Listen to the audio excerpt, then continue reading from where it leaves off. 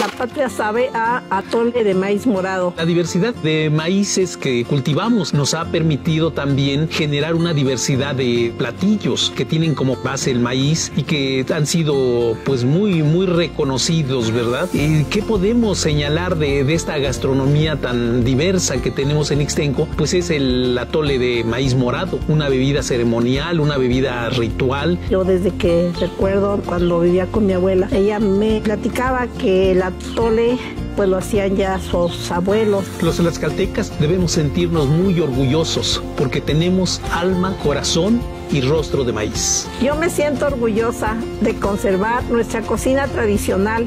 Por nuestro origen, por nuestras raíces, por nuestras tradiciones. Y nuestros sabores, Tlaxcala sí existe. Tlaxcala es mucho México.